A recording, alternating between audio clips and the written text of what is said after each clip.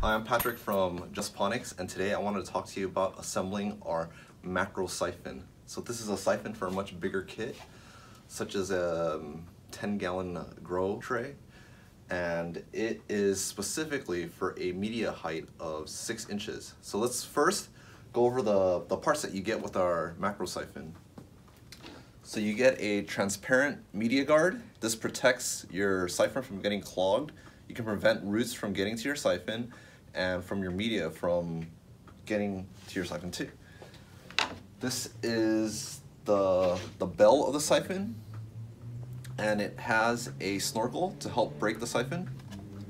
And it, the siphon also comes with um, a collection of, of a PVC uh, fittings. So you have three four inch, uh, three quarter inch pipes, one three inch, three quarter inch pipe, two 90 degree elbows, three quarter inch,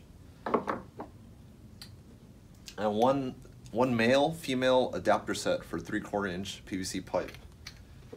And a bushing that goes from three quarter inch to one and one quarter inch. This is the top portion of the, the, the siphon that is used as the funnel, which will help you start a more efficient siphon. And lastly, there's an O-ring, and this will prevent the water from leaking from your grow tray if you do not uh, seal it too tightly. so first, what you want to do is assemble um, the PVC fittings. You want to take your two four inch pieces and stick these into the elbows. So one like that, like that, that. So this is for the bottom part, right underneath your grow tray. It'll be like this, okay? So you assemble that. Now you want to assemble a standpipe. You want to take your male bulkhead fitting, take another 4 inch PVC pipe and stick it in like so. Okay? Now take the bushing, stick it on top. This right here is 4 inches. Okay.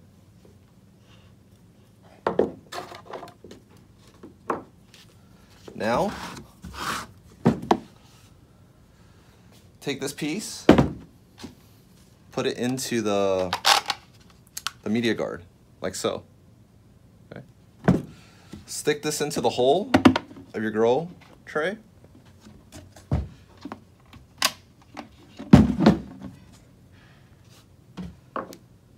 And get the O-ring And put it on the bottom.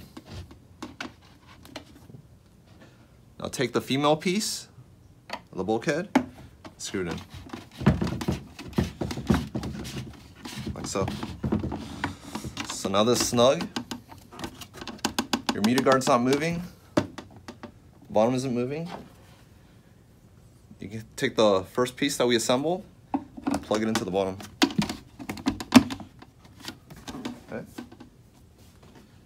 And now all you have to do last is take the bell and put on top.